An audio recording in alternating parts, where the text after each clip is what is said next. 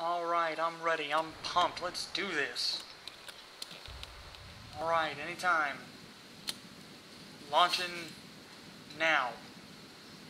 Now. Now.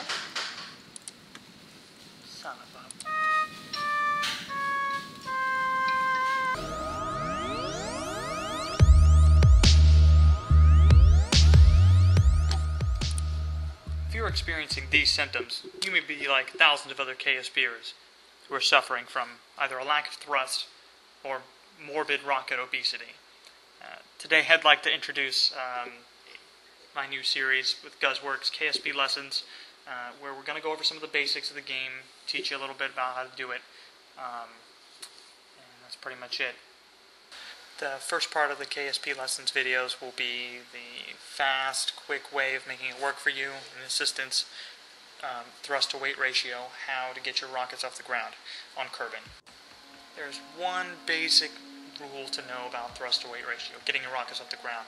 Your engine thrust has to be the rocket's total mass and uh, the celestial body's gravity around, in this case Kerbin's, to get there. And here's how you do it. This is a quick four-step process. First off, uh, build your payload. Once you want to get into space, do whatever you want to do it. You know, whatever's going to be moving around out there. Second, add the fuel to give it the delta V and necessary to do it. And think about what kind of ISP you're going to need for that. Third, multiply the ship's total mass by 9.81, which is Kerbin's gravitational acceleration on, on you. Um, this is the number you're going to be. Total ship mass times 9.81. Okay? Lastly, pick an engine or engines whose max thrust add up to greater than that number, the total mass times 9.81. Don't forget to include the rocket's engines as part of that mass in the end of it. You have to figure that in.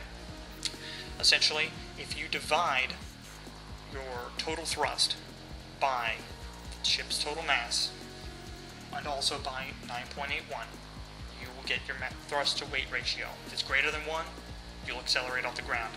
If it's not, will not get off the ground. Very simple maths.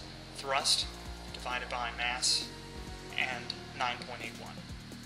If it's greater than 1, you'll get off Kerbin.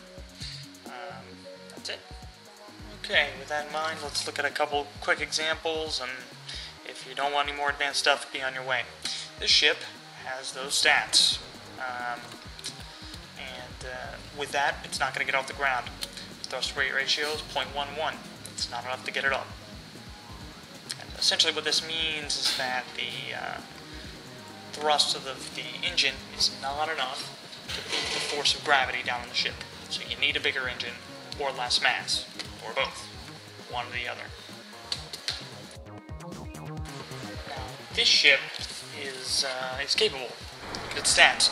With 1.025, it's over 1 with a thrust weight ratio. And so, as you see, it's lifting off. However, in its liftoff, you see it's a little slow. You can tell it's it's only just making it. That is indicative of a very low thrust to weight ratio. The thrust compared to the weight, aka mass times acceleration of gravity, is low, and thus it accelerates poorly. In this final example, you'll note it accelerates really fast. The thrust to weight ratio is 2.74, way over the 1 that is needed. Um, 50 kilonewton engine compared to the mass times gravity. Um, that's pretty much it. It's, it. It's the proof is in what it does. It accelerates much faster, um, and can definitely get you where you want to go in comparison. And then it's just about adding the right amount of fuel um, and balancing everything.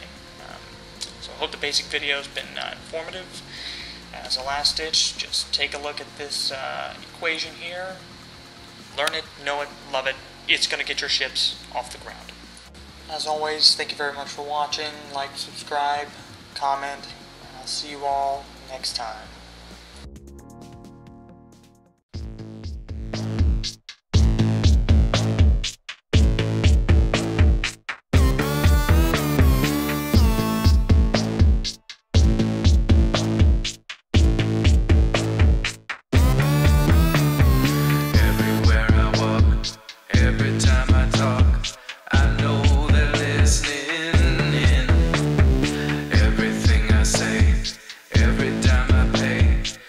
Every single time.